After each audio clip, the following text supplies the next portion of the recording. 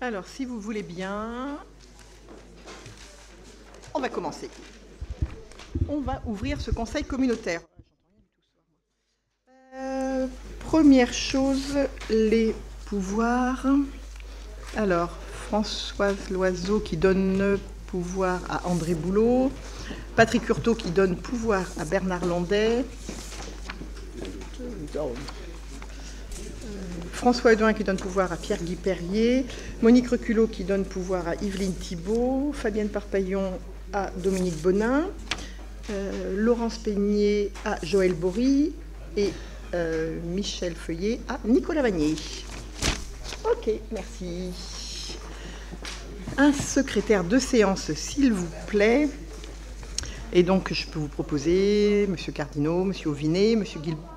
On n'entend rien. Ouais, ce soir, je vois bien que vous n'entendez pas. Enfin, je vais le rapprocher du coup. Alors, secrétaire de séance, euh, je vous propose Jeanne Cardinaux, Jean-Claude Auvinet, Joanne Guilbault, Michel Sago. Est-ce qu'il y a un volontaire? Michel Sago, secrétaire de séance. Je vous remercie. Alors, le premier point à l'ordre du jour, y a-t-il des observations sur la séance du Conseil communautaire du 19 avril 2018 C'est vrai qu'il n'est pas terrible, ce micro. Non Pas d'observation pas Très bien, je vous remercie. Et puis donc, vous avez ensuite euh, les décisions que nous avons prises, approbation des décisions. On va passer au point numéro 1. Ah ben, c'est bête. C'est bête, c'est bête. C'est Jean-Yves, il n'est pas arrivé. Il n'est pas arrivé. Alors, bah, du coup, Jean-Yves n'étant pas arrivé, je vais... Il vient pas? La bergerette Alors, bah, écoutez, du coup, je vais le, faire pour lui. Je vais, aller directement. Euh, donc, le point numéro un, ça concerne la modification des statuts du CIVU pour l'installation et le fonctionnement d'une piste d'éducation routière avec une autorisation de signature. Euh, si vous le voulez bien, je vais vous lire le cartouche et puis s'il y a des explications à apporter, euh, bah, du coup, on mettra en stand-by et Jean-Yves le fera. Donc, il vous est proposé de prendre acte de la représentation-substitution de la communauté de communes Sud-Vendée Littoral aux communes de Besset, Château-Guibert, Corp, La Bretonnière-la-Claye, La Couture, l'Épinot-Saint-Ouen, Mareuil-sur-Lay, Moutier-sur-le-Lay, PO Ronay Sainte-Pexine, au sein du syndicat pour l'installation et le fonctionnement d'une piste routière à compter du 1er janvier 2018, entraînant sa transformation en syndicat mixte fermé à la même date et du coup d'accepter la modification des statuts du syndicat, et notamment les articles 1 à 3 et 5 à 8, que cette substitution entraîne. Alors s'il y a des vraies questions, je ne peux pas y répondre, mais peut-être que quelqu'un qui est avec Jean-Yves pourrait répondre, ou autrement, est-ce qu'il y, a des questions Est-ce que vous avez des observations à ce niveau-là? C'est une substitution, hein, c'est pas non plus... Euh, non? Je vais mettre aux voix. Est-ce qu'il y a des voix contre? Des abstentions? Je vous remercie. Le deuxième point, c'était toujours Jean-Yves, et c'est le syndicat Institution vie politique, syndicat mixte pour l'installation et le fonctionnement de la piste routière, avec du coup l'élection des délégués.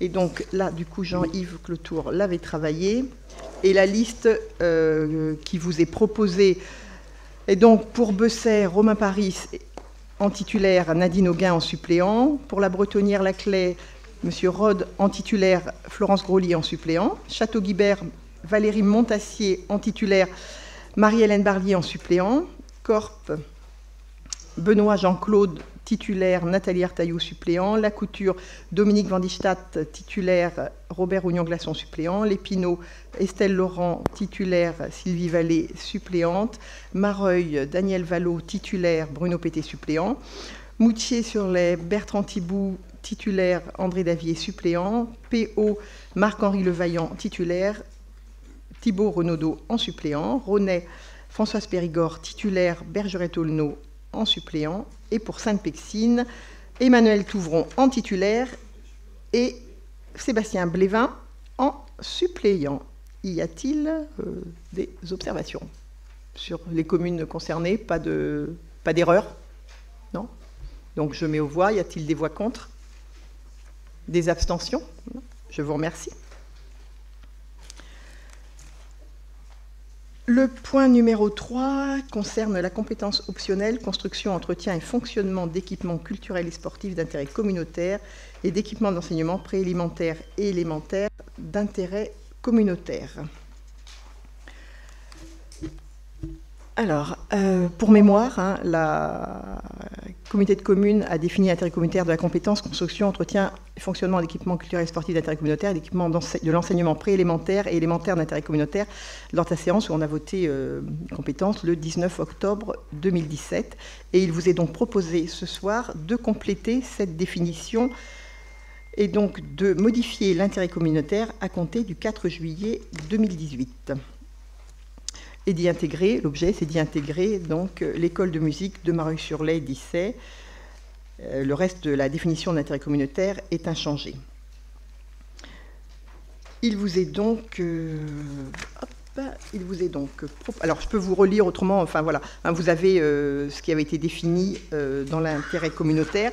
Il vous est donc proposé ce soir d'ajouter dans la définition de l'intérêt communautaire pour la compétence construction, entretien, fonctionnement d'équipements culturels et sportifs d'intérêt communautaire et d'équipements de l'enseignement préélémentaire et élémentaire d'intérêt communautaire, l'école de musique intercommunale à Mareuil-sur-Lay.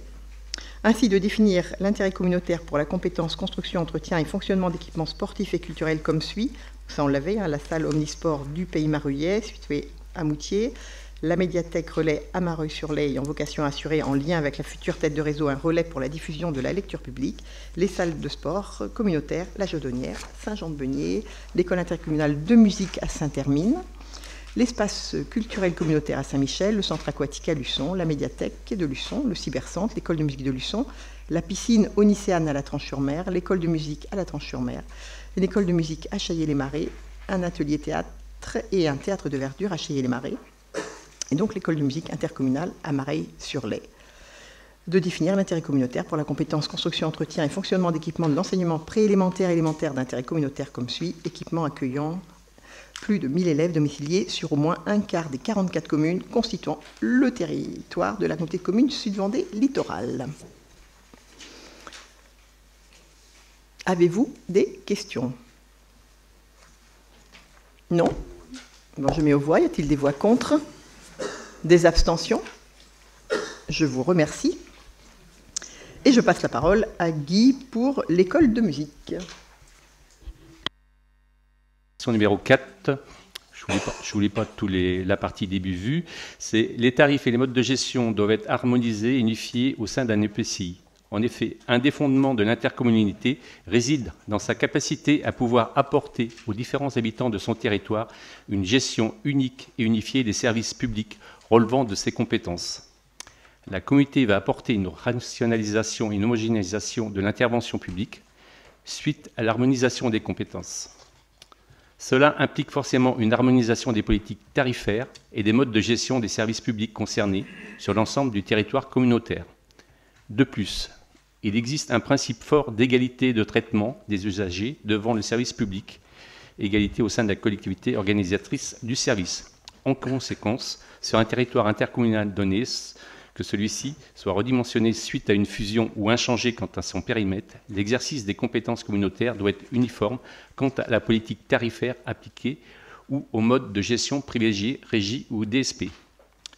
Néanmoins, cette harmonisation peut être réalisée progressivement et sans contrainte de délai. Ainsi, une réflexion sur l'harmonisation de la politique tarifaire des différents sites de l'école de musique intercommunale Sud-Vendée Littorale du son Mareuil, Saint-Hermine et Chailly-les-Marais est en cours. Là, ce qu'on vous propose dans les annexes, c'est un tarif pour Mareuil qui vient d'intégrer qui va intégrer à partir de la rentrée l'école de musique intercommunale. Actuellement, elle était gérée par une association avec des tarifs très très hauts. Ce qui fait que, avant de proposer des nouveaux tarifs, on est en train de travailler dessus, ça c'est, je veux dire, il y a différents types de tarifs chaque site avait son propre tarif. Et là, on s'est basé sur euh, le T3 sur Luçon, ce qui fait que vous avez sur euh, l'annexe les tarifs qui vous sont proposés pour Mareuil. Pour les autres sites, pour l'année 2018-2019, resteraient inchangés. Ce qui fait que pour, au niveau parcours diplômant, on, serait le plus haut à 225. Faut savoir qu'auparavant, le parcours était à 365, plus l'adhésion qui était à 30, ce qui veut dire qu'un élève payait minimum au moins 400 euros pour l'école de musique au niveau de l'association. Là, on serait sur un tarif plus bas, 225 plus l'adhésion, plus 25, on serait à 250. Qui à peu près, euh, quand vous regardez, les mêmes tarifs que Chaillé et euh, en parcours diplômant que Chaillé ou Saint-Termine, à 10-20 euros près. Voilà. Y a-t-il des questions?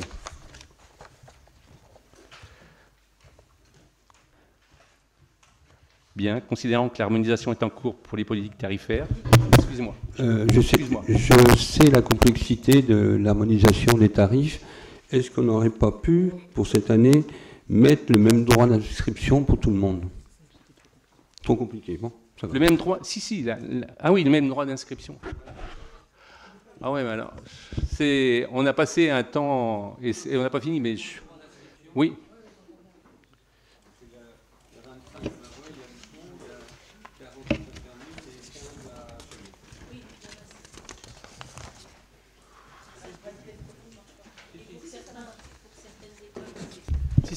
Pour certaines écoles, c'est par famille, et d'autres écoles, c'est par élève. Donc c'est pour ça qu'il y a une différence. Donc euh, mm. c'est vrai que harmoniser au moins le droit d'inscription sur les quatre écoles de musique, ça aurait pu être bien. Ça, si, c'est une chose qui peut se faire. Hein. On, peut, on peut proposer au niveau de droit d'inscription 25 euh, ou 30. Euh, ou alors, moi je trouve que, voilà, mais on, va essayer. En même temps, je pense qu'on sera obligé de le, faire euh, dans le temps, parce qu'il faut savoir que par rapport au, sur l'ancienne comité de communes du Pays de la Mer, on a une différence avec. Euh, on serait à peu près. si on avait harmonisé tout de suite, on aurait été obligé d'augmenter de 25% sur Luçon. Je crois qu'on a eu des problèmes au niveau. Et en même temps, si on veut travailler sur le quotient familial, là, apparemment sur Luçon, on était à trois tranches. Et là maintenant, euh, suivre un petit peu les cautions familiales qu'il y a au niveau centre de loisirs et par ce qui est proposé au niveau de la CAF, on serait à 9 tranches. Alors, ce qui veut dire, euh, voilà. Et soit autrement, euh, si on harmonisait par rapport à Luçon, ça veut dire que la communauté de communes était obligée de rajouter un, budget de plus de 50 000 euros en participation financière sur l'école de musique si on avait harmonisé par rapport à Luçon, qui est le tarif le plus bas. Ce qui fait qu'on va essayer de trouver une harmonisation sur deux ans, un lissage sur deux ans, qui vous permettra vraiment de pas non plus euh, bousculer les familles parce que bon, il y a quand même aussi là, on a tenu compte qu'il y a la GMAPI qui, qui va être aussi euh, cette année. On voulait pas non plus impacter trop les, familles à ce niveau-là. Voilà. Euh, juste, juste une petite précision, il ne s'agit pas de Luçon, il s'agit du Pays né de la Mer. Non, non, Pays né de la Mer, excuse-moi, mais voilà, mais c'est le site de Luçon, excuse-moi, c'est le site de Luçon. Mais quand c'est 40 euros, c'est pour famille, ça termine. J'ai bien entendu que c'était vous le tarif le plus élevé. C'est pas par enfant, là, c'est par famille. Par famille, quand même. Ah, oui. C'est pas forcément nous le tarif le plus élevé, puisque dans certaines écoles, c'est 15 euros par élève. Donc s'il n'y a qu'un enfant, effectivement, nous, on est plus cher. Mais mm. s'il y a deux ou trois enfants, euh, on est moins cher. Mm. Non, mais c'est vrai qu'on ah. peut remercier le travail des services. C'est un gros travail de. C'est un début d'harmonisation. je ne sais pas si vous voyez, mais c'est assez fou. Et arriver à faire quelque chose sans que ça impacte le budget, c'est pas si évident, si évident, et en même temps en tenant compte si on travaille sur neuf tranches. Mais parce qu'on va essayer. Euh, si, si, ça va impacter. Mais sur Mareuil, il y a la, communauté de communes participait. Là, la communauté de communes doit apporter un plus, parce qu'autrement, ce n'était pas, pas possible. C'est-à-dire que ça va coûter à peu près 3 à 4 000 euros. En, euh, je crois que c'est autour, on va être autour d'un budget de 30 000 euros pour la, l'école de musique de, de, Mareuil, avant, on devait être autour de 20 000 euros. Mais bon, on a essayé de trouver pour. Euh, parce qu'autrement, on, tombait sur les mêmes les tarifs euh, hors caution familiale sur Luçon, et ce qui fait que ça ne bougeait pas les, tarifs sur, sur Mareuil. Et on sait que c'est un, un, frein. Euh, il y a une baisse quand même de fréquentation sur Mareuil. On est passé de 80 à 40, aussi dû aux tarifs élevés sur Mareuil. C'est pour ça qu'on a essayé de voir pour avoir un tarif vraiment attractif pour essayer de remonter un peu l'école de musique de, Maroc.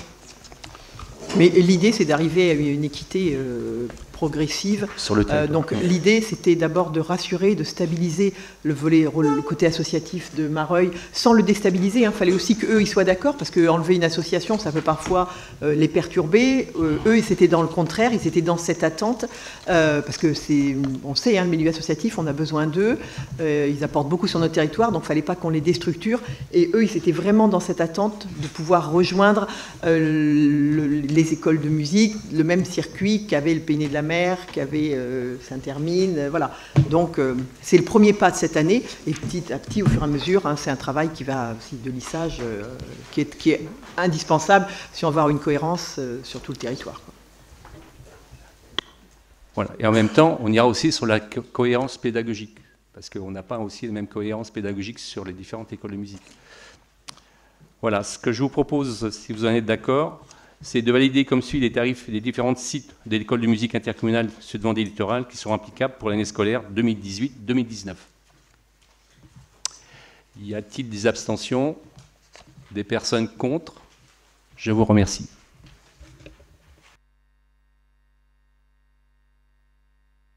Allez, on y va. Point suivant, Pierre Guy. Oui, il s'agit euh, d'une modification d'un montant versé à, l'OSE, hein, qui est l'Office euh, socio-éducatif, euh, avec lequel il y avait eu une convention qui avait été signée avec les îles du Marais Poitevin. Alors l'OSE, en fait, s'occupe du développement de la politique jeunesse et de la, gestion des infrastructures hein, sur, sur ce territoire. Et euh, il y avait eu donc une convention qui avait été signée avec euh, un montant euh, annuel donc de 65 383,51 euros. Bon, il s'avérait qu'on a repris ce montant puisque c'était celui qui avait été voté en dernier, mais dans l'attente d'une signature de, de contrat enfance-jeunesse. Or, depuis cette signature, on s'est rendu compte que, du fait des services rendus, le montant n'est plus tout à fait le même. Il s'agit là de 81 000 enfin 0,95 euros 31, soit une différence de 15 711,80 euros. Donc il faut qu'on change la convention, puisque bien entendu, euh, il faut suivre euh, ce qui a été signé dans le contrat enfance-jeunesse. Et donc il faut euh, modifier les, conventions qui existent avec l'OSE sur un article, c'est l'article 3. Alors cet article 3 dit d'abord qu'il faut faire un versement en trois temps. Hein, euh, euh, pour, suivre les règles de, la CAF, et euh, ensuite de mettre le montant à 81 095 31, et bien sûr d'autoriser la présidente à signer cet avenant. Y a-t-il des remarques ou des questions? Non Donc, des contre, des abstentions? En cas d'unanimité, merci. Merci. Euh, le point suivant, qui revenait à Jean-Yves, concerne la LSH l'Aiguillon-sur-Mer, l'escale des Mousses, avec un avenant au procès-verbal de mise à disposition. Lors de l'intégration de la commune de l'Aiguillon à la communauté de communes Pays de la Mer, la commune a transféré sa compétence création, aménagement et gestion de l'accueil de loisirs sans hébergement l'escale des Mousses à l'intercommunalité.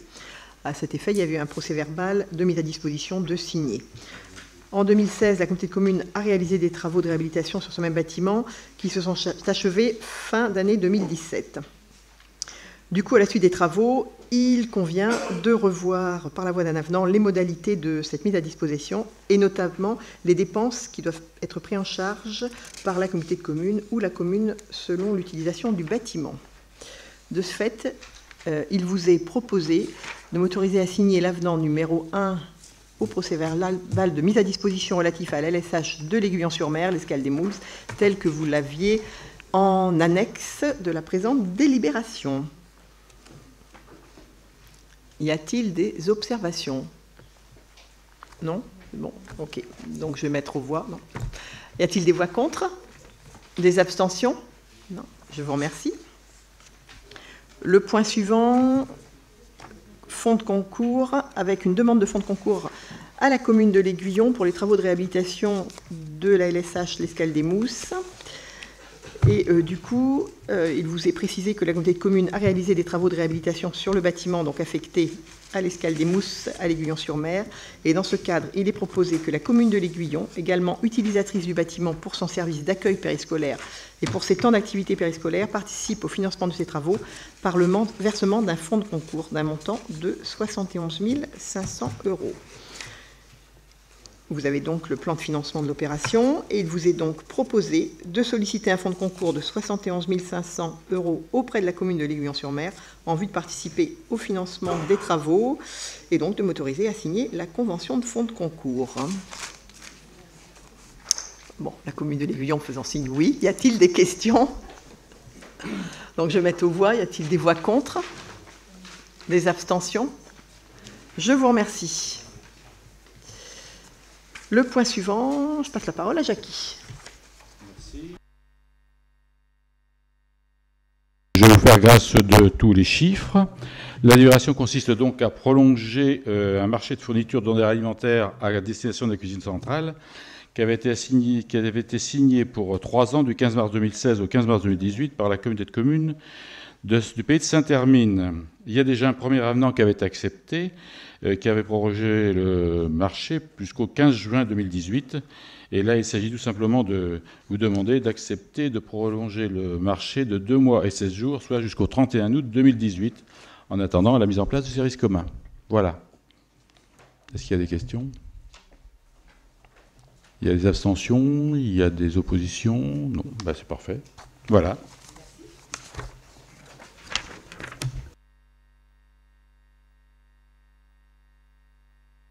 Le point suivant, c'est pour Daniel.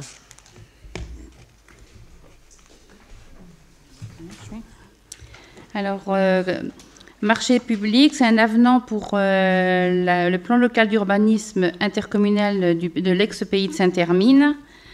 Donc, euh, la société Perspective s'est vue confier par la communauté de communes du pays de Saint-Hermine par l'intermédiaire d'une procédure adaptée l'exécution du marché euh, relatif à l'élaboration du PLU sur son territoire. Le marché à prix forfaitaire a été conclu pour un montant initial du marché à 149 350 euros hors taxe.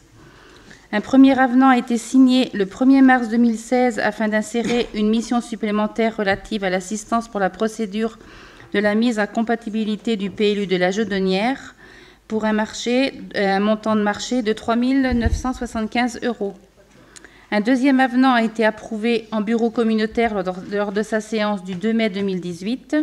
Cet avenant a, inséré une, une mission complémentaire permettant la réalisation d'une étude au titre de la demande de dérogation aux règles d'inconstructibilité le long des voies de la grande circulation sur la zone d'activité Champ-Provence commune de Saint-Gemme-la-Plaine, pour un montant de 1 650 euros hors taxe. Il convient, avec un nouvel, avenant et suite à la décision du comité de pilotage du PLUI de Saint-Hermine, en date du 7 février 2018, d'intégrer une autre mission au marché public et de retirer les prestations désormais devenues sans objet suite à la fusion des différentes communautés de communes et à la création de la communauté de communes Sud-Vendée Littoral on a enlevé la partie habitat. Cette mission euh, complémentaire viendrait ajouter la réalisation d'un inventaire des haies sur les 12 communes couvertes par le futur document d'urbanisme. Le montant de cette mission s'élève à 10 850 euros hors taxe. Sachant que la communauté de communes Sud-Vendée Littoral souhaite engager donc le PLU intercommunal le volet habitat pour l'intégralité de son territoire. Il est nécessaire de retirer ces prestations présentes dans le marché initial pour le PLU de l'ancienne communauté de pays de Saint-Hermine. Le retrait de cette prestation engendre une incidence financière de moins-value d'un montant de 4 500 euros hors taxe. Le montant du marché public est désormais porté à 161 325 euros hors taxe. Donc vous avez donc euh, le, petit euh, tableau. Donc euh, je propose aux membres du Conseil communautaire d'approuver l'avenant numéro 3 concernant le marché public relatif à l'élaboration du plan du PLU, donc intercommunal du pays de Saint-Hermine, tel que présenté ici avant, d'autoriser Madame la Présidente de la communauté de communes Sud-Vendée Littoral à signer toutes les pièces inhérentes à, au dit avenant et d'inscrire les dépenses correspondantes au budget de l'exercice concerné. Est-ce qu'il y a des observations? Mhm. Cette partie-là, les, 12 euh, communes, enfin l'inventaire des aides des 12 communes sera plus à faire quand on fera le PLUI de l'Interco. Hein Donc est-ce qu'il y a des voix contre? Est-ce qu'il y a des abstentions? Merci. Tu continues, je pense. Alors, euh, ça correspond à la commune, au PLU de l'avenant numéro 2, commune de l'Aiguillon-sur-Mer, autorisation de signature en annexe 6.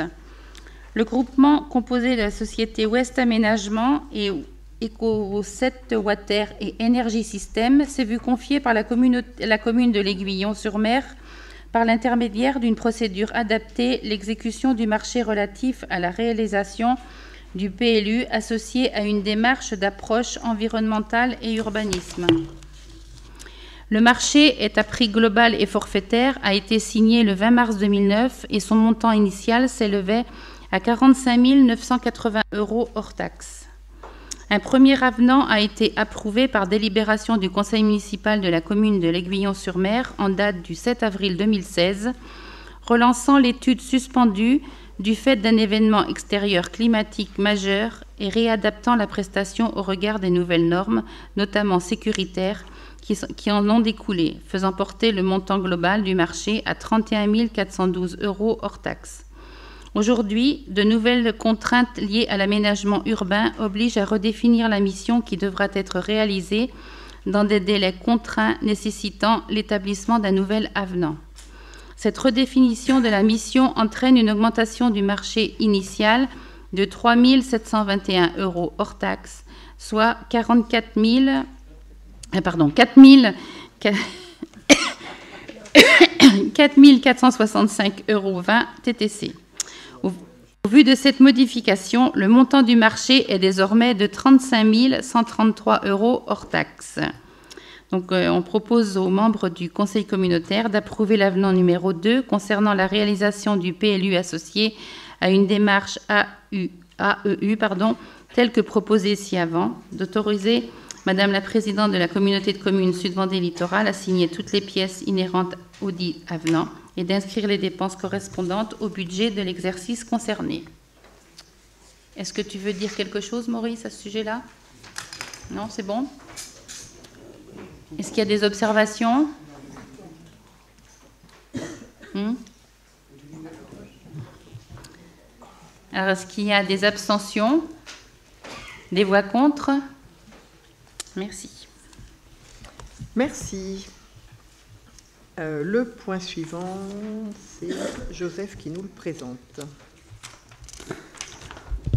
Ça doit passer. Donc, il s'agit de la constitution d'une réserve foncière dans le cadre d'un échange avec l'indivision Chevalier sur la commune de saint la plaine Je ne sais pas si vous vous souvenez, il y a quelque temps, on avait déjà passé des, des concernant donc des, parcelles qui sont à côté de, Chevalier, donc les parcelles de M. Robin. Donc ça, c'est dans la continuité. Dans le cadre donc, de la mise en œuvre de sa compétence économique et de l'aménagement de zones d'activité économique, la communauté de communes Sud-Vendée Littoral souhaite la création d'une réserve foncière le long de la route départementale 749 sur la commune Saint-Gemme-la-Plaine. C'est des parcelles qui sont situées entre euh, les quatre chemins de Saint-Gemme, à venir sur Luçon et euh, situées avant Leclerc, pour situer un petit peu ces parcelles. Donc on a déjà acquis une partie avec, euh, auprès des consorts Robin. Là, il s'agit d'acquérir la suite auprès de l'indivision Chevalier. Donc la SAFER a ramené une négociation foncière sur des terrains qui sont situés dans ce périmètre. Ces deux parcelles bénéficient d'un zonage économique en deux AUE. Alors il faut savoir que la communauté de communes apporte 10 hectares dans l'échange, 16 arts et 81 centières pour une valeur de 45 756 euros. C'est des parcelles qui sont situées entre les quatre chemins et le lycée de Pétré. Quand vous allez des quatre chemins à Pétré, c'est sur la gauche. Là. Euh, l'indivision Chevalier apporte dans l'échange donc 12 hectares 97 arts 23 centières pour une valeur de 259 446 euros. Donc c'est 2 euros le mètre carré selon l'avis des domaines en date du 12 mars 2018. Donc une soulte, bien sûr, est calculée entre le montant apporté par l'indivision Chevalier et le montant apporté par la communauté de communes, soit une valeur de 213 690 euros qui profitera à la division Chevalier.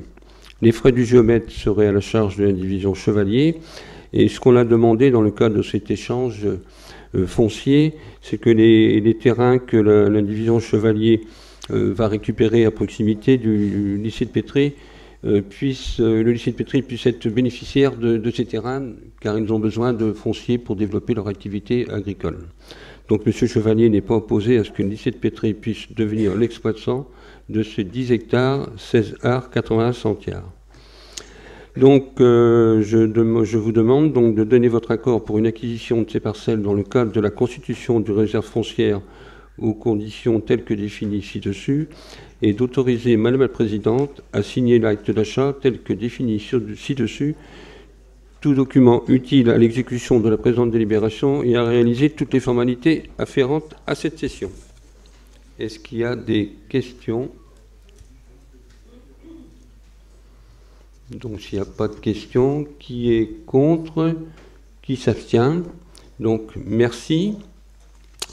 La question suivante euh, concerne à nouveau du foncier. C'est la vente de deux parcelles qui sont situées à Luçon euh, dans la zone des Trois Fontaines, si je crois me souvenir. Euh, deux parcelles situées dans la zone d'activité des Trois Fontaines, qui permettra à l'entreprise du groupe Dubreuil d'avoir un pôle économique cohérent autour du garage Peugeot et du garage Opel dont elle est propriétaire. Considérant l'avis des domaines qui a estimé le bien à 39 168 euros hors taxe, soit 18 euros hors taxe mètre carré, euh, je vous présente donc la demande de la société civile immobilière Carlu, qui est une filiale du groupe Dubreuil, dont le siège social est à Bellevigny, euh, qui est représentée par Madame Valérie Le, directeur général. Donc l'entreprise qui souhaite acquérir une emprise de, 2176 mètres carrés euh, à proximité du garage actuel, euh, le prix convenu est de 18 euros hors taxe mètre carré, soit un prix total de 39 168 euros hors taxe. Donc les frais d'acte sont à la charge de l'acquéreur. Donc je vous demande de savoir si vous êtes d'accord pour qu'on cède ces parcelles au groupe Dubreuil autoriser la présidente à céder les parcelles à la SCI Carlu, filiale du groupe Dubreuil, et d'autoriser la présidente à signer l'acte portant transfert de propriété, et d'autoriser Madame la Présidente à se faire représenter, le cas échéant, lors de la signature, en donnant mandat à l'un des vice-présidents de la communauté de communes. Donc c'est dans la zone des Trois Fontaines, donc c'est à côté du, garage Peugeot et Opel, donc ça leur permet de se développer. Est-ce qu'il y a des questions? Donc, qui est contre? Qui s'abstient? Merci. Merci, Joseph. Euh, le point suivant, ça concerne le balayage mécanique des voiries c'est Pierre qui nous présente. Voilà, donc euh, je vous rappelle que, en effet, historiquement, la compétence qu'avait le PNE de la mer dans, dans ce domaine de balayage mécanique n'a pas pu être prolongée parce qu'elle était inséparable de la compétence voirie. Donc euh, nous sommes partis sur une piste de service commun dans un, à un moment qui n'a pas eu de succès. Hein. donc vous vous souvenez des délibérations dans ce sens. Et maintenant nous vous proposons d'aller vers un groupement de commandes euh, à la direction de prestataires pour pouvoir euh, donc que, le, que le balayage mécanique soit réalisé au service des communes dans les meilleures conditions. Alors, les communes volontaires, bien évidemment. Donc, euh, je ne vais pas vous rappeler hein, le groupement de commandes, ce que c'est, hein, vous le savez. Donc, ce soir, euh, donc, il y aura une convention d'établie entre les communes et la communauté de communes. C'est la communauté de communes qui, sera, qui coordonnera l'ensemble des opérations d'élaboration des documents de marché, de sélection euh, des entreprises, etc. Voilà. Euh, et puis, ben, les conseils municipaux seront amenés à, se, à, délibérer sur le projet qui en sortira, hein, commune par commune. Voilà. Donc ce soir, la proposition qui vous est faite, c'est donc euh, d'adhérer à ce groupement de commandes, d'approuver les termes de la convention de groupement euh, du groupement de commandes. Alors c'est vrai que je crois que dans les annexes, vous ne l'avez pas, ceci dit. Hein, donc voilà. Mais quand même, on vous demande de l'approuver d'approuver le rôle de coordinateur de la communauté de communes dans le cadre de cette procédure. Et puis tout le reste, bien toujours pareil, autoriser Madame la Présidente à signer les choses comme il faut. Voilà. Est-ce qu'il y a des questions sur ce projet? Bon. Quels sont ceux qui sont contre ce projet? Quels sont ceux qui s'abstiennent? Bon. Ben, merci pour l'unanimité et on verra bien ce qu'il en sort. Oui, oui, non, non, mais c'est bien. Merci beaucoup pour tout ce travail sur le tour du balayage. Euh, le point suivant, c'est Jean qui nous en parle sur le SCOT. Concernant l'aménagement territoires, l'élaboration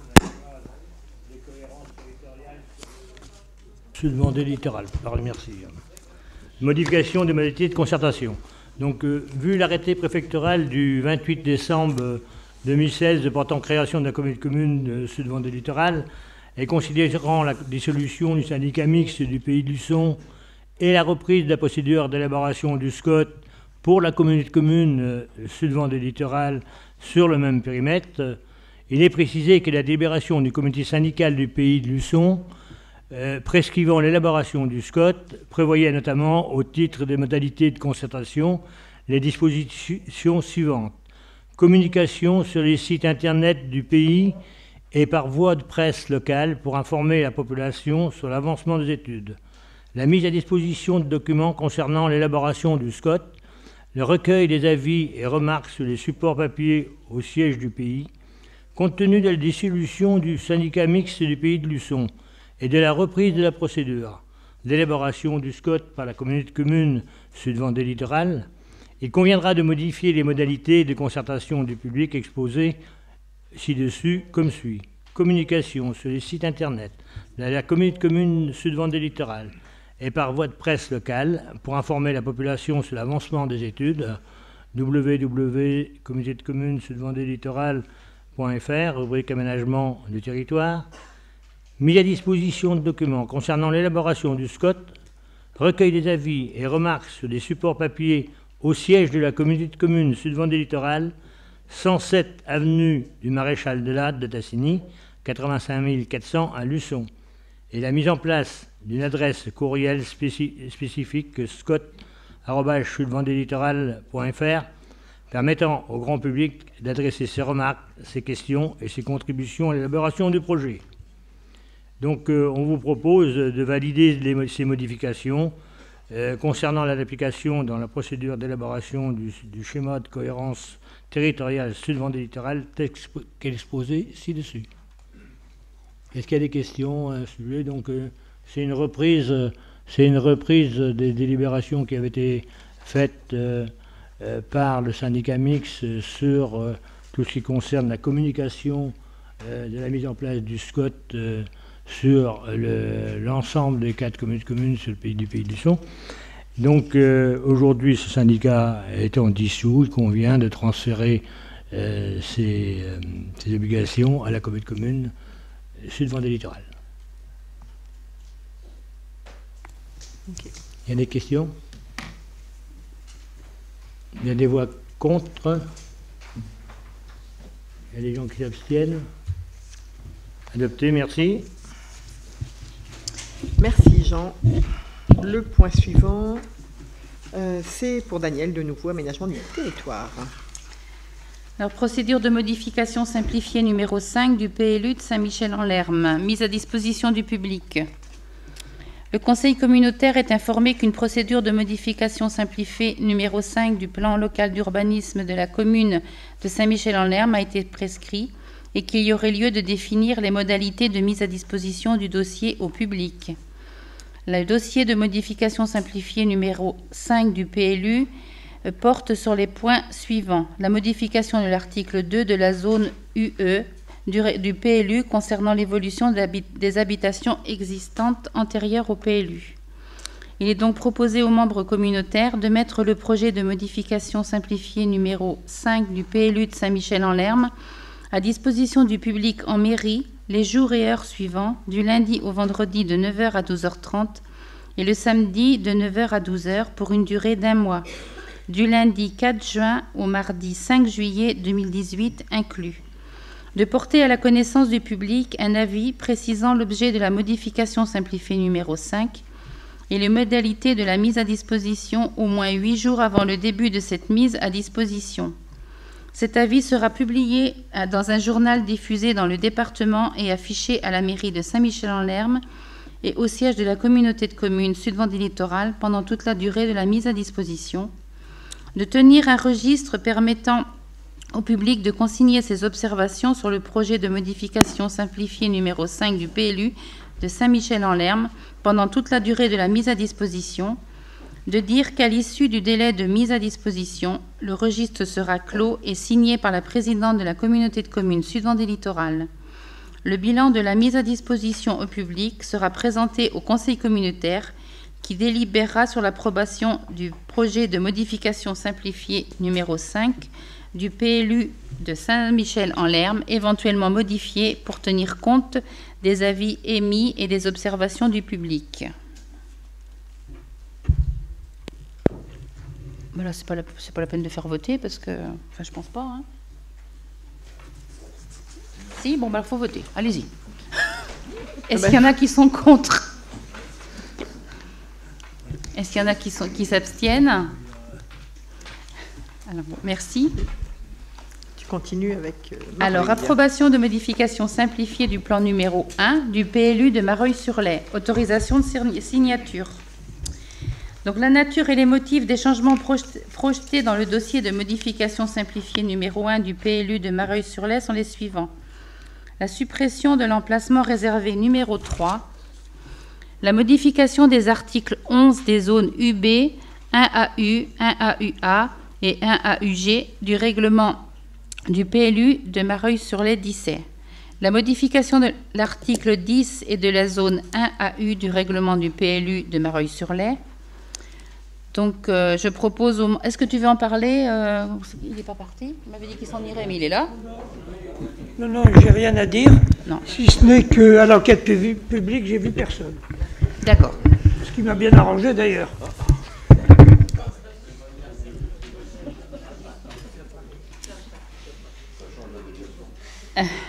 Donc, on propose aux membres du Conseil communautaire de prendre acte du bilan de la mise à disposition au public du dossier de modification simplifié numéro 1 du PLU de Mareuil-sur-Lay, d'approuver le dossier de modification simplifié du plan 1, du plan de simplifié numéro 1 du, plan, du PLU de Mareuil-sur-Lay tel qu'il est annexé par la présente, de dire que la présente délibération fera l'objet, conformément aux articles R 123-24 et R 123-25 du Code de l'urbanisme, d'un affichage en mairie de Mareuil-sur-les-Dissay et au siège de la communauté de communes Sud-Vendée Littoral pendant un mois et d'une mention dans le journal, de dire que le PLU modifié est tenu à la disposition du public à la mairie de Mareuil-sur-Lay, à la préfecture, aux heures et jours habituels d'ouverture, de dire que la présente délibération et les dispositions résultant de la modification simplifiée numéro 1 du PLU de Mareuil-sur-les-Dissay sont exécutoires dans la transmission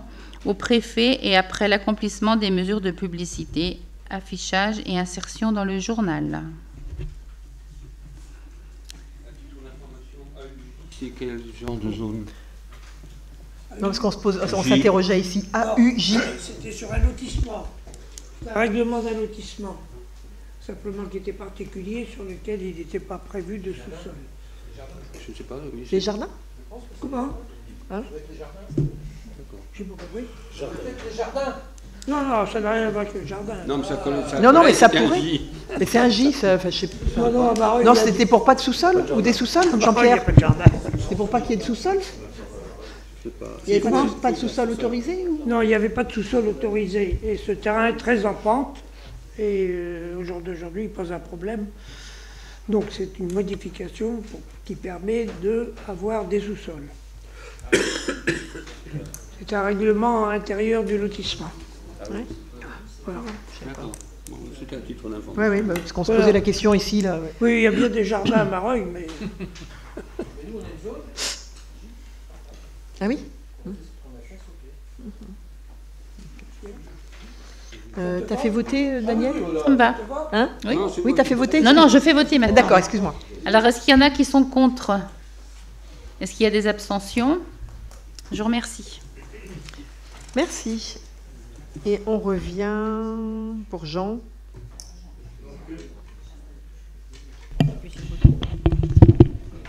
Ça concerne un avis sur le projet du SCOT du sud-ouest vendéen.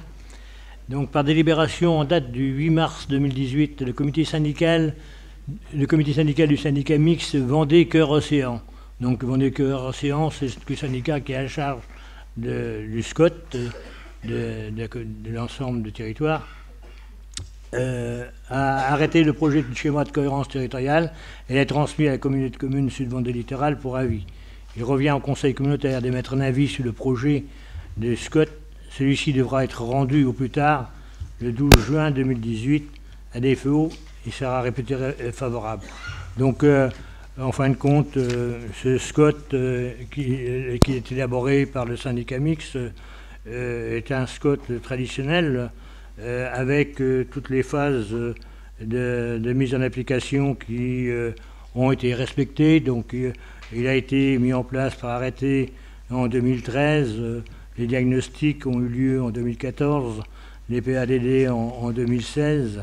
En 2018, ils, ont la place des OO. Donc euh, ces réunions publiques euh, ont également été respectées. Donc il n'y a pas de souci. Hein. Donc un projet euh, qui comprend certaines ambitions hein, de plusieurs pays, de plusieurs axes stratégiques également. Donc voilà ce qui concerne ce SCOT de, de Vendée Ouest Océan vendéen, sud-ouest vendéen. Donc le sud-ouest vendéen, euh, c'est un SCOT euh, qui comprend euh, le pays de Talmondet, les Achartres, et je ne sais pas aussi d'autres communes. il est assez important.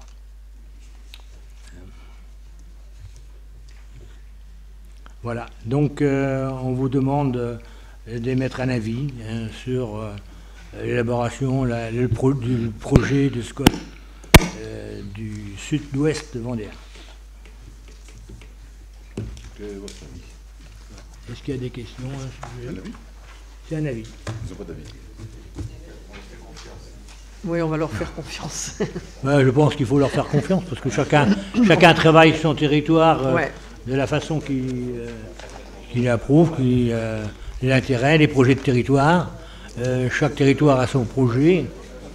je pense qu'il faut les respecter. Donc voilà. C'est bon?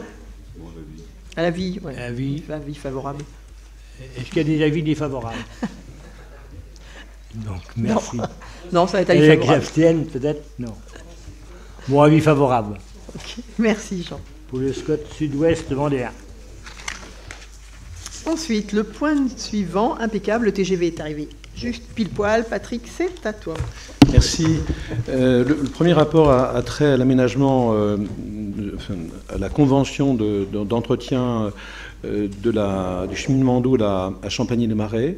Vous savez que la Comcom a compétence donc, sur l'aménagement et l'entretien des pistes cyclables et la communauté de communes Sud-Vendée Littoral a repris les travaux engagés par euh, la communauté de communes des îles du Marais, euh, notamment euh, la création d'une circulation douce dans la commune de Champagné, pour relier, alors c'est dans le bourg, hein, Bernard, pour relier la rue du 8 mai et le pôle commercial via la maison de retraite. C'est environ 350 mètres de, de cheminement doux qui ont été réalisés. Donc il faut maintenant s'accorder sur la passation d'une convention et la convention qui vous est proposée donc, précise la répartition des charges entre la Comcom d'une part et euh, Champagné d'autre part, puisqu'il s'agit d'un aménagement de centre-bourg. Euh, Bernard, je crois que la commune prend, elle, plutôt les végétaux et nous, on prend plutôt le, le traitement au sol. Euh, donc c'est l'objet de cette convention euh, qui me permet de vous dire qu'on va bientôt euh, accélérer parce qu'on est encore un peu dans des zones de flou sur ce qu'on appelle les itinéraires communautaires hein, de circulation douce, qu'il va falloir s'accorder sur ces questions. donc je crois qu'il y a une réunion de 30 mai, je le dis, c'est plutôt un, rappel sur cette question. Bernard, je crois qu'il n'y a pas de problème sur la convention. Elle, elle vient clore euh, la réalisation de cet ouvrage et lui permettre un bon entretien. La réalisation n'est pas faite encore. Hein. Ah bon, bah alors je, vais, plus vite que la, convention avant de faire les travaux. Mais c'est prévu et ça va être fait euh, rapidement sous la compétence de la communauté de communes. S'il n'y a pas d'abstention, il n'y a pas de vote contraire, donc le rapport est adopté. La deuxième délibération est une convention de mise à disposition de locaux intercommunaux en faveur de la Société publique locale Sud-Vendée Littoral Tourisme. les collègues membres administrateurs de la société publique l'ont noté lors du dernier conseil d'administration. Le commissaire aux comptes nous a dit qu'il était souhaitable d'avoir une convention précisant les conditions d'occupation du siège de la communauté de communes. Donc le principe est ainsi simple de localiser alors, ça m'étonne que Serge ait laissé passer back-office, parce qu'il parle plutôt français, les services partagés du siège de la société publique locale, euh, de la SPL, qui sont euh, installés dans, ces locaux. Et pour ce faire, une convention euh, l'autorisera entre la communauté de communes et sa présidente et la société publique locale Sud-Vendée Littoral Tourisme L'objectif étant que euh, la Comcom étant majoritaire à 97%, la convention sera sur la base de la gratuité. Voilà, donc cette convention nous permettra de répondre à une observation du, commissaire au compte. Pas de questions, pas d'abstention. Merci, ce rapport est adopté. Alors un rapport plus important et en même temps assez complexe sur la demande de classement de la société publique locale suivant des littorales tourisme en tant qu'office de tourisme de catégorie 3 il est euh, nécessaire d'avoir une autorisation euh, de euh, la communauté de communes après avoir eu celle de la société publique locale il y a une dizaine de jours dans notre conseil d'administration. je vous rappelle, je vais défiler la, délibération, puis rentrer un peu plus dans le détail, parce que le, dossier est quand même compliqué, suscite parfois des, interrogations et des questions, notamment avec les services de l'État. J'étais avant-hier, hier ou avant-hier, à l'Assemblée générale des offices de tourisme, par ailleurs à Paris, pour qu'on commence à traiter cette question également au niveau parisien, parce que vous allez le voir, les, dossiers sont un peu compliqués. Les offices de tourisme peuvent être classés désormais en, trois catégories, une, deux et trois, suivant le niveau des aménagements et services garantis au public, en fonction des critères fixés dans un tableau de classement élaboré par l'Agence de développement touristique et France à tout France, euh, avec une homologation par arrêté du ministre chargé du tourisme. Tout ça, c'est très compliqué. Hein. Je, vais faire au plus simple. Euh, il revient au Conseil communautaire sur provision de l'Office de tourisme, de formuler une demande de classement euh, aux représentants de l'État dans le département, donc auprès du préfet, et ce classement est ensuite prononcé par les services de l'État pour 5 ans. Donc nous avons délibéré pour déposer un dossier de classement en catégorie 3 pour permettre le classement de certaines communes en communes touristiques, j'y reviendrai après, et l'engagement officiel de l'Office de tourisme dans l'attribution de la marque qualité tourisme, permettant de passer après en catégorie 1. Euh, j'avais même euh, souhaité penser qu'on pouvait passer directement en délibéré tout de suite pour euh, demander classement en catégorie 3, puisque c'est un passage obligé. Puis, aussitôt après, en catégorie 1, dès qu'on serait prêt, malheureusement, j'aurais à, revenir vous proposer une délibération dès, qu'on sera prêt. Donc voilà les principes de la délibération.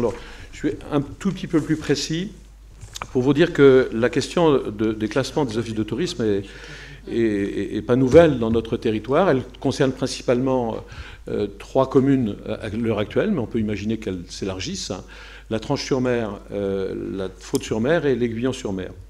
Euh, bon, je mets de côté, si vous le voulez bien, et je peux en discuter, la question de la Tranche-sur-Mer qui a défendu son statut de station d'office de tourisme classé et donc de station classée en créant d'abord sa société publique locale, puis en profitant de la loi montagne euh, oui, vous me pardonnerez euh, euh, ce rappel, en profitant de la loi montagne pour garder son autonomie et du coup garder son classement en catégorie 1. Le classement en catégorie 1 permet, autorise aux communes qui sont communes touristiques et stations classées d'avoir des avantages particuliers. Et c'est pour ça qu'il faut se méfier. Il y a deux dossiers dans le dossier. Il y a un dossier sur le classement des offices de tourisme, et puis euh, ça entraîne la possibilité pour les communes euh, d'être communes touristiques et stations classées. Euh, alors, les, avantages des, communes touristiques d'abord, et après je, rappellerai ce qu'on a fait. les avantages, c'est principalement le surclassement, qui présente des avantages financiers, et également dans l'organisation des services des mairies. Le versement direct de la taxe additionnelle au droit d'enregistrement et la taxe sur le foncier, quand on n'est pas euh, station classée, on est automatiquement dans une péréquation départementale qui présente moins d'avantages financiers. et puis la possibilité d'ouvrir un, casino. Alors, je vous rassure, il y a un casino sur notre territoire. On fête ses 25 ans samedi, vous y êtes invité. il est sur la commune et il n'y a pas de remise en cause du statut du casino, mais on, on pourrait imaginer que les difficultés de classement d'office de tourisme peuvent entraîner des difficultés à cet égard. Ce statut de commune touristique et de station classée était un, statut à vie, et la loi en 2006 l'a remis à, plat et a contraint euh, sur des calendriers qui sont un peu glissants, et c'est pour ça qu'on a des difficultés avec les services de l'État, puisque la loi date de 2006, elle a été mise en vigueur en 2009, et puis il y a eu une série de prolongations qui ont prolongé le statut de, station classée de commune touristique jusqu'au 1er janvier 2018. Au 1er janvier 2018, deux communes de notre territoire ont perdu leur statut de station classée, l'Aiguillon-sur-Mer et la Faute-sur-Mer, parce que dans le même temps, euh, et c'est l'obligation pour garder le, statut de station classée, il faut que l'office de tourisme euh, dont ils euh, bénéficient, qui est sur leur territoire, soit classé en catégorie 1. Je dis bien en catégorie 1, hein, pas en catégorie 3, ce débat a eu lieu en conseil d'administration, d'être classé en catégorie 3 n'autorise pas de euh, demander un, classement de, station euh, classée. Donc, de ce fait, on a accéléré le, classement de nos offices de tourisme en, catégorie 3 puis en catégorie 1. Et je vous rappelle que j'avais fait ce signalement à euh, l'ancienne Comcom, euh, euh, pays né de la mer, et au bureau de la nouvelle communauté de communes en disant attention à pas trop déraper sur le délai. Pour autant, c'est un argument, je sais que l'Aiguillon est un peu chafouiné par les services de l'État. donc c'est quand même un argument qui est fort. Il faudra, et, je, propose qu'on le fasse rapidement pour répondre à une sollicitation de l'Aiguillon. Il faudra indiquer que euh, la communauté de communes n'a pas euh, fait plein de choses depuis 2015, hein, puisqu'on a fait quand même l'intégration de nos offices associatifs, alors dans un premier temps sur l'épinée de la mer, c'était 2015 et 2016, et puis euh, au moment où on s'apprêtait, moi je voulais absolument qu'on travaille sur la question du classement, je l'ai dit depuis 2014, on, s'est quand même pris la loi NOTRe et l'intégration qui nous vaut de siéger avec 44 communes, donc 43 qui vivent dans euh, des offices de tourisme euh, dont je vous rappelle la diversité. Euh, d'abord parce que certains étaient classés ancienne formule, d'autres pas du tout. Donc il a fallu faire ce travail de rassemblement de 2015 à 2017. Et le travail de, classement a été entrepris immédiatement en 2017 parce que en même temps qu'il y a un, classement d'office de tourisme, il faut en même temps euh, déposer un dossier sur la marque qualité tourisme qui est toujours préalable à la catégorie 1. Donc je me résume pour faire simple, pardon d'être un peu compliqué, peut-être confus, mais il, il, faut distinguer deux choses, le statut des offices de tourisme du statut des communes touristiques. Pour que les communes soient stations euh, touristiques et bénéficient, bénéficient, des avantages, il faut que les offices de tourisme de leur territoire soient en catégorie 1. Pour passer en catégorie, il faut d'abord passer en catégorie 3, puis avoir une, euh, qualité tourisme euh, reconnue, ce qu'on a déjà fait depuis le milieu de l'année dernière. Donc on est en, cours. Euh, la délibération aujourd'hui nous conduira, Présidente, à déposer un dossier en catégorie 3 aujourd'hui. Et j'ai bon espoir avec l'équipe, et j'en remercie Serge et les administrateurs de la SPL, les membres vice-présidents de la SPL, parce que c'est un gros travail euh, pour l'équipe. Euh, on, a bon espoir de déposer le dossier de catégorie 1 en septembre. Donc vous voyez, ça va quand même nous permettre de dire à l'État, on a fait le travail, on a fait le taf sur les intégrations. je rappelle que la première intégration sur les pays de la mer était liée à une observation de la Chambre régionale des comptes. Euh, donc on a fait le travail d'intégration euh, des offices de tourisme de l'ancienne Comcom, on a fait le travail d'intégration des offices de tourisme dans leur diversité. Laissez-nous quelques mois pour euh, atteindre les objectifs de classement en catégorie 1. En même temps, et c'est simple, la dernière observation que je ferai, le dossier pas facile parce que la loi NOTRe a bouleversé considérablement le secteur du tourisme et son organisation. Mais pour autant, la difficulté, c'est que la loi, elle, date de 2006. Et, l'État a déjà reporté à plusieurs reprises euh, son, ses procédures de classement. Donc il est un peu moins patient qu'on pouvait l'imaginer à cet égard. C'est pour ça que j'ai retardé euh, la réponse écrite qu'on vous fera. Il y a une réponse ministérielle que j'ai découverte qui n'est pas, pas, très positive. Donc il faut que je recreuse la question dans les circulaires du ministère de l'économie, puisque la direction du tourisme relève de la direction générale de l'emploi à Bercy. Voilà, donc aujourd'hui, dépôt d'un dossier de catégorie 3, et dès que possible, dépôt d'un dossier de catégorie 1. Y a-t-il des questions sur ce dossier compliqué, mais qui est un enjeu important pour euh, l'aiguillon et, la, faute, naturellement? Pas pour la tranche, puisqu'elle vit sa vie. Pas d'observation, pas d'abstention, pas de vote contraire. Merci, ce rapport est, adopté. Euh, la dernière délibération euh, présidente a pour objectif de conventionner avec la commune de la Faute-sur-Mer pour réaliser une partie importante de la piste cyclable, la boucle de la Presqu'île, puisque pour réaliser cette boucle, pour ceux qui, euh, connaissent bien euh, le site entre l'école de char et le casino qui fête ses 25 ans samedi, euh, l'État n'autorise pas le passage dans la dune grise, alors que vous le savez, il nous a autorisé à passer dans la forêt. Donc bon, je ne rentre pas dans ces détails. Et de ce fait, nous sommes obligés de faire la piste cyclable entre les Belugas et, euh, le casino euh, sur le parking. Euh, et donc de réaménager le parking. Donc la commune l'a déposé d'ailleurs ce projet dans le cadre du contrat département et région. Mais la commune va être maître d'ouvrage des travaux du parking et elle propose par convention à la Comcom de réaliser des travaux de piste cyclable qui feront l'objet d'une convention avec la Comcom. Voilà l'objet de cette délibération, d'autoriser la passation de cette convention au titre d'une co-maîtrise d'ouvrage et d'autoriser la présidente à signer la convention au titre de cette co-maîtrise d'ouvrage. Pas de questions, pas d'abstention, pas de vote contraire. Merci, le rapport est adopté. Merci. Alors, le dernier rapport pour ce soir concerne les ressources humaines avec le remboursement des frais de déplacement, repas et d'hébergement des membres du Conseil de développement, puisqu'ils euh, peuvent être euh, amenés à avoir des missions particulières hors du territoire de la communauté de communes, donc dans, la limite du budget alloué au Conseil de développement. Il vous est euh, proposé de leur rembourser pour la durée du mandat aux frais réels sur présentation de pièces justificatifs les dépenses de transport, de repas et d'hébergement, et donc de m'autoriser à signer tout acte administratif relatif au remboursement de ces dix frais.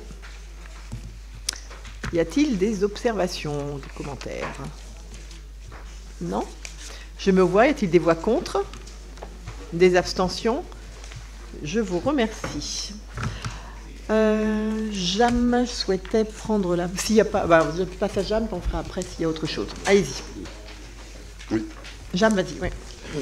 Alors, deux, informations hein, qui sont, que j'ai demandé donc de, vous annoncer ce soir. Donc, la première euh, concerne une visite que l'on a fait donc, euh, il y a mardi dernier sur euh, le, parc Atlantique, sur la présentation du parc de matériel de, la commune, et puis sur une démarche, donc l'objectif zéro pesticide dans nos villes, villages du Sud-Vendée littoral. Donc, cette présentation démonstration du parc matériel était intéressante, hein, donc il y avait du monde. Euh, et donc on a un parc de matériel à la commune commune qui, est rassemblé par euh, les différentes comcom qui, qui avaient, donc surtout le Pays de la Mer, ex-Pays de la Mer et Saint-Termine. Et donc on a proposé des prestations, mais ça n'a pas tourné très bien la première année, puisque on n'était pas très bien, comment dire, euh, prêt. Il y a trois, trois niveaux, l'entretien d'avoirie et accotement avec une machine à peinture sur route tractopelle. Il y a l'entretien des espaces verts, broyage des déchets verts, et puis il y a le désherbage alternatif, utilisation de, donc, donc euh, eau chaude, vapeur, et puis déjà désherbage mécanique. Alors donc euh, l'objectif sur ces points-là, donc sur, sur au niveau donc il y a des prestations bien sûr, hein. l'entretien des espaces verts et broyage des déchets verts. L'objectif c'est d'utiliser beaucoup plus le matériel existant, bien sûr. on a eu des petits soucis hein, pour pour le personnel à mettre dessus, puisqu'il y a eu des changements. Donc, euh, donc là, maintenant, il faut qu'on règle ce problème-là. Et plus euh, du petit matériel qui était à disposition, donc subventionné donc, par, euh, mis à disposition par Trivalis et subventionné par l'ADEME, donc qui, a été donc, avec démonstration. On peut en avoir d'autres, hein, donc s'il faut absolument nous le dire, si vous êtes intéressé par ça, assez rapidement. L'objectif, là, c'est clair, hein, c'est de diminuer les apports euh, des déchets verts en, déchetterie par rapport euh, aux communes, puisque les déchets verts nous coûtent assez cher, voire même ça devient un vrai problème. Donc c'est quelque chose qu'on veut absolument intensifier. Donc là, c'est clair, on, y va. L'autre chose, c'est donc le zéro pesticide. Ça, bon, vous savez que de toute façon, c'est interdit de mettre des pesticides depuis le 1er janvier 2017, sauf certains produits. Faites attention, hein, les arrêtés sont tous très clairs. On est tous à, la veille de pouvoir ramasser quelques procès. Euh, peut-être moi le premier d'ailleurs. Hein. Euh, donc euh, on souhaite donc sensibiliser donc aussi les habitants sur l'impact des produits phyto, donc en, présentant donc différents matériels qu'on va étudier, et, surtout votre demande suite à l'enquête que l'on a réalisée, qui est ciblée sur les terrains de sport et les cimetières. Vrai problème sur les cimetières. Donc on souhaite donc, donc créer une, donc une charte Hein, comme avait fait le Pays de la Mer euh, il y a quelque temps, hein, je crois que vous avez fait ça. Hein, et donc, euh, elle est basée sur le volontariat, bien sûr. Donc, euh, il, faudrait, il va falloir que vous répondiez à l'ensemble de ce qu'on vous envoie dans ces jours-ci, et puis ce serait très bien qu'on puisse signer cette charte avec Madame la Présidente et puis d'autres, et que et qu'on enclenche, c'est sur, la base du volontariat, sachant que cette opération zéro pesticide est quand même un budget de 465 000 euros hors taxe sur trois ans, et accompagné par 40% à peu près par la région Pays de la Loire hein, sur euh, le contrat régional de bassin versant. Et on a aussi des aides de l'agence de l'eau, hein, ça va être la fin, hein, pour euh, du matériel euh, à acheter. Voilà. Donc je tenais à vous faire part de ces éléments-là, et puis il faut que ça s'enclenche aujourd'hui. Donc plus vous serez nombreux à venir adhérer à cette charte, plus les choses avanceront. Oui, plus on pourra la mettre, vous avez des questions sur ce point. mettre en pratique. Ou des, interrogations ou des critiques Non On va la rédiger, euh, bien sûr. Oui, oui, tout à fait. Tout à fait. Hein, et puis on va même faire une, programmation de la signature avec euh, une, visite, peut-être dans la journée de, cimetière. Je crois que c'est Chailly-les-Marais qui qui est un peu avancé sur ce domaine-là. C'est pas simple. Alors, le, coût du broyeur n'est pas. On n'a pas décidé de la prestation encore, on, décidera en bureau. Là, aujourd'hui, il y a une prestation, hein, qui, je ne sais plus de combien. Euh, mais le, petit broyeur, on n'a pas décidé encore. Le gros broyeur, la prestation était euh, existante. Hein. on vous l'a donné l'autre jour. Hein, euh, je ne sais plus si c'était pas 85 euros de l'heure, compris. Mais on va en discuter. Si vraiment ça donne vraiment des avantages pour moins mettre en déchetterie, on va rediscuter avec, avec, avec monsieur des Finances, là, pour savoir si on peut. Voilà. Non, mais euh, ça, fait hein partie, ça fait partie de nos réflexions. Tu dis quoi, David? Non, mais pour l'instant, on va, on va en parler. Ouais, non, mais là, pour le moment, c'est pas encore. C'est exact. Et peut-être que ce sera, ce sera proposé au bureau. Je ne dis pas que ce soit accepté. Voilà, vous entendu hein. Mais il faudra qu'on montre l'économie que l'on fait dans les déchetteries pour qu'on puisse euh, bien analyser la situation. OK? Il y a d'autres questions sur ce point-là? Voilà. Mais euh, on avait un vrai problème euh, de, personnel pour mettre dessus. Maintenant, ça y est, on va le régler. C'est en train de se régler, ça. Et donc, n'hésitez pas à postuler. Deuxième dossier est beaucoup plus compliqué. Assainissement. Donc, donc l'assainissement, donc il y a y a trois niveaux. Je vais commencer par le niveau qui nous concerne, nous.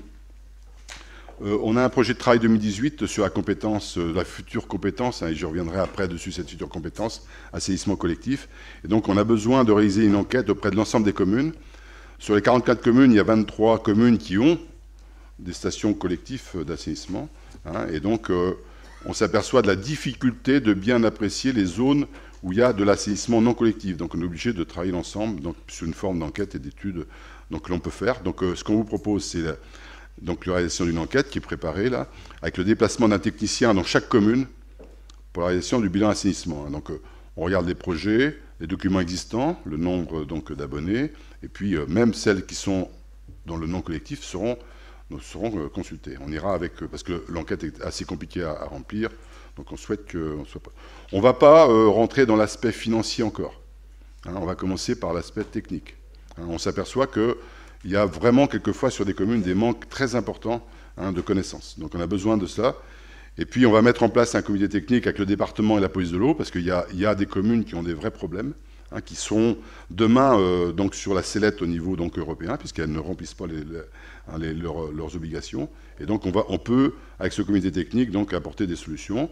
Et ce qu'on vous propose, c'est que la commune fait partie donc de l'aide qu'on peut vous apporter pour, hein, pour régler ces problèmes. Souvent, c'est un problème de de planning à faire pour répondre aux instances européennes, euh, enfin d'abord aux instances euh, vendéennes qui l'envoient après au niveau européen.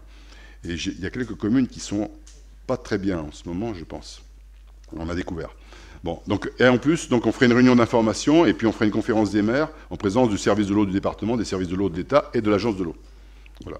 Donc ce serait certainement à l'automne puisqu'on a besoin d'éléments.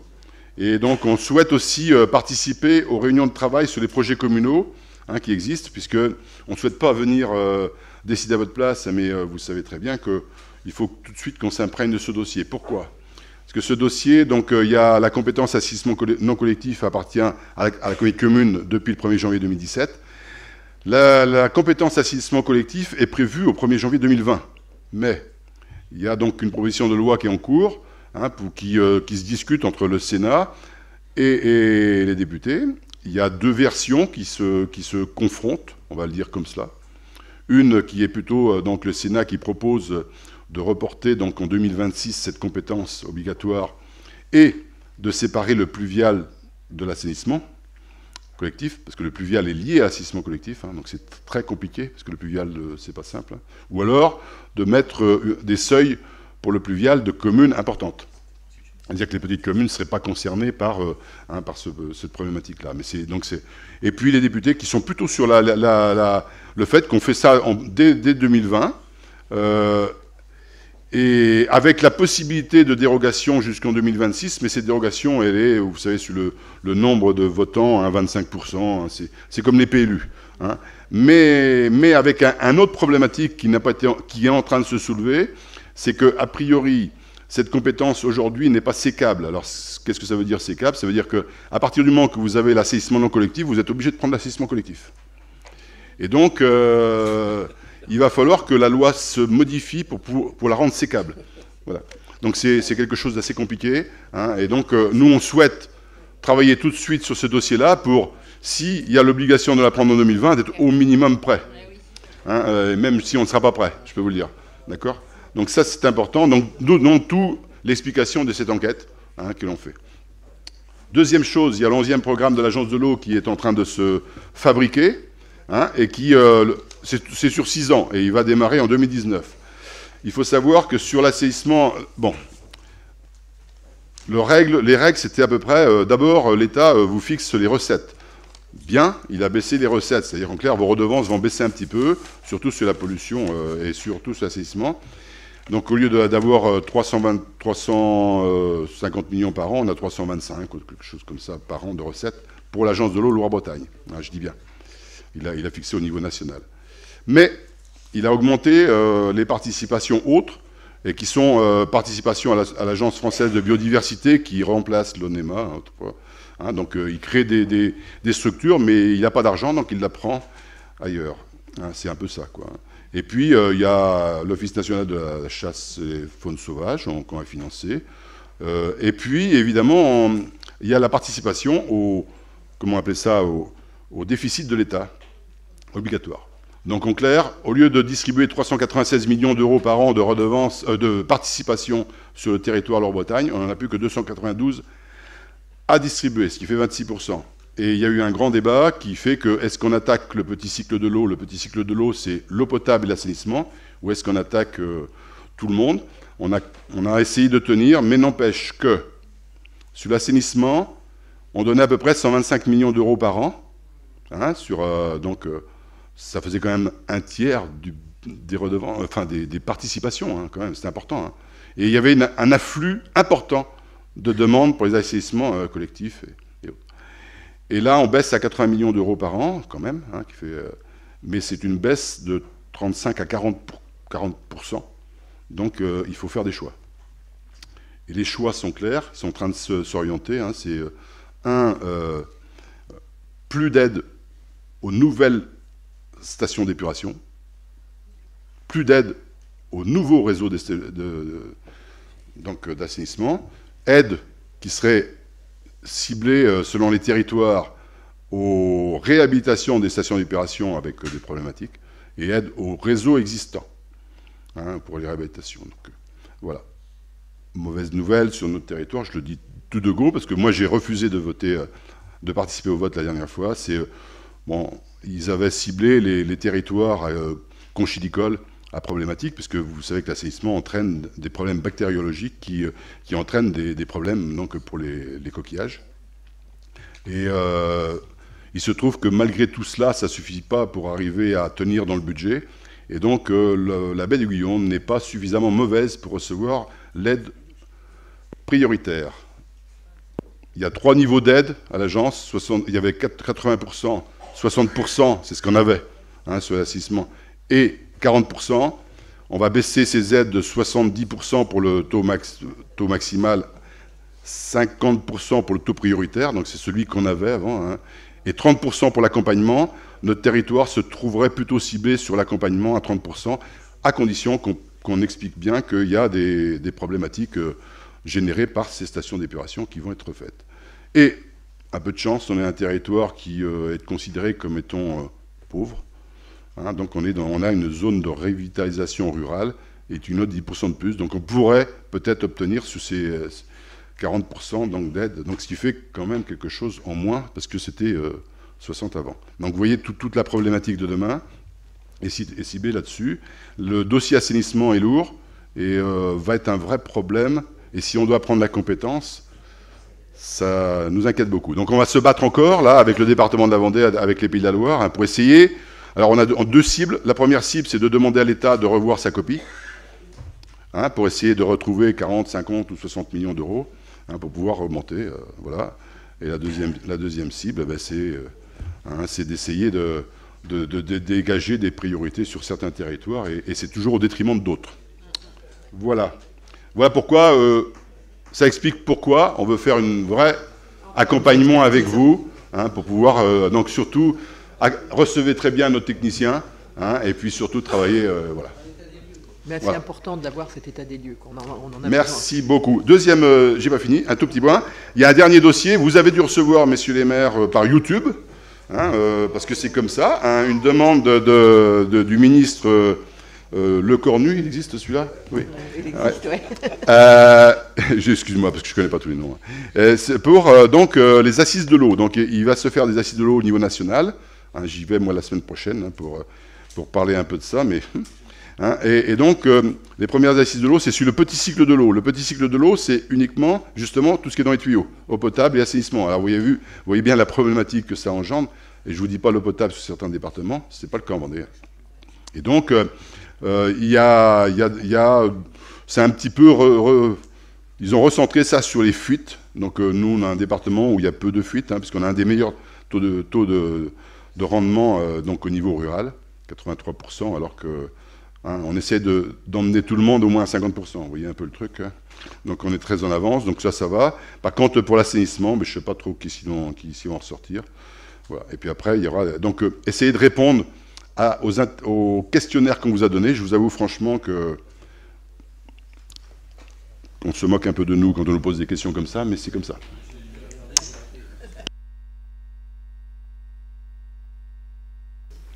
Merci, Jam. Est-ce qu'il y a d'abord des questions à poser à Jam, en effet, oui? Non, bon. bon, il a fini, d'accord. Et ensuite, est-ce qu'il y a des interrogations de votre part? Ou des questions de votre part? Non C'est bon On va clore ce conseil communautaire. Je vous remercie de votre attention.